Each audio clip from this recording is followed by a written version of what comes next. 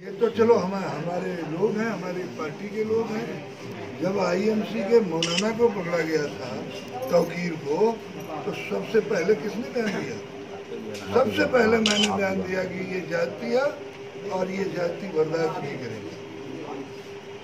हम लोग, हम तो ये कावड़ वालों के विरोध में। हमने तो कहा, जब कावड़ यात्रा के लोग स्वागत कर रहे थे, मैंने कहा, इन हरामियों का स्वागत कर रहे हैं।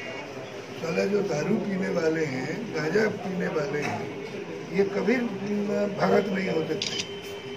और समाजवादी पार्टी को बढ़ना पड़ेगा राम से और शंकर से अगर देश में अमन चैन कायम रखना है तो।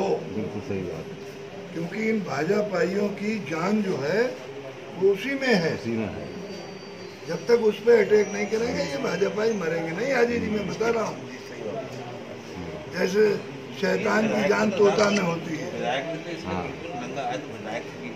नहीं, वो विधायक है ही नहीं। वो विधायक है नहीं। एक बार हमें मिल गया वहाँ गुलाब राय इंटर कॉलेज का एक फ़ंक्शन था, उसमें। तो बात ही नहीं करते। पहले तो वो जाता ही आता था, तुम्हारा सब मालूम है